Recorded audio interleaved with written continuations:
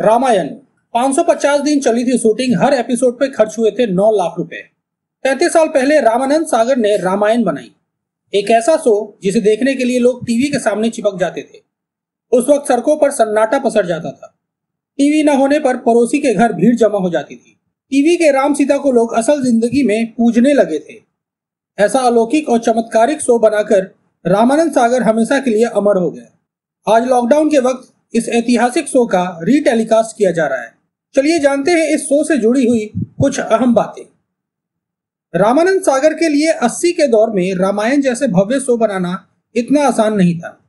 रामानंद सागर जो कि टीवी पर आने से पहले फ़िल्में बनाते थे, उनका अचानक फ़िल्में बनाना छोड़कर टीवी का रुख करना कई लोगों को पचा नहीं था। फिर रामानंद सागर ने रामायण बनाने की सोची। लेकिन कोई भी उनके इस ड्रीम प्रोजेक्ट को स्पॉन्सर करने के लिए तैयार नहीं हुआ था। रामानंद सागर और उनके बेटे ने फंड जुटाने की काफ़ी कोशिश की, लेकिन कोई सफलता हाथ ना लगी। प्रेम सागर ने बताया था कि उनके पिता ने फिर भी हार नहीं मानी। उन्होंने ठाना हुआ था कि वे तीन माइथोलॉजिक शोज़ रामायण, कृष्णा और दुर्गा ज़रूर बनाएँगे। रामायण को सपोर्ट ना करने की खास वजह यह थी कि तब लोगों को लगता था मूछ और मुकुट का कॉन्सेप्ट काम नहीं करेगा।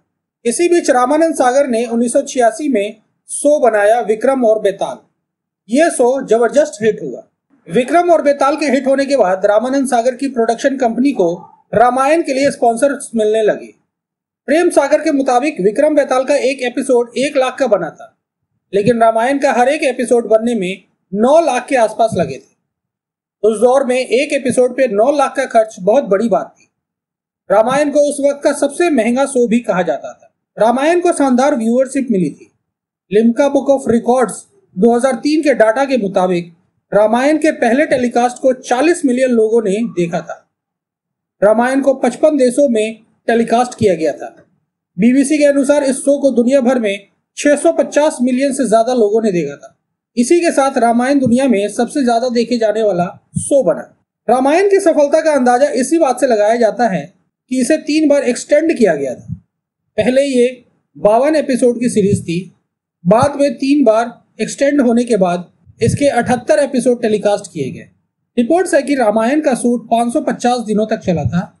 इसे गुजरात के उम्बर गाँव में शूट किया गया था।